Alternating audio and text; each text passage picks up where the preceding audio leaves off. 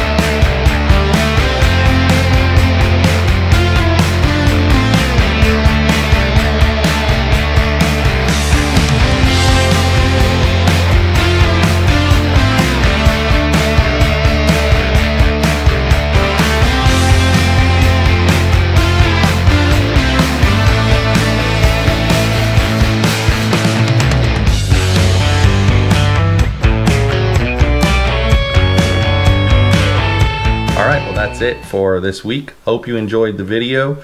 Please um, hit the like button down there and subscribe. It's going to be up over here. And I uh, really would appreciate it. The liking and subscribing really helps me out with my channel that I'm starting out here.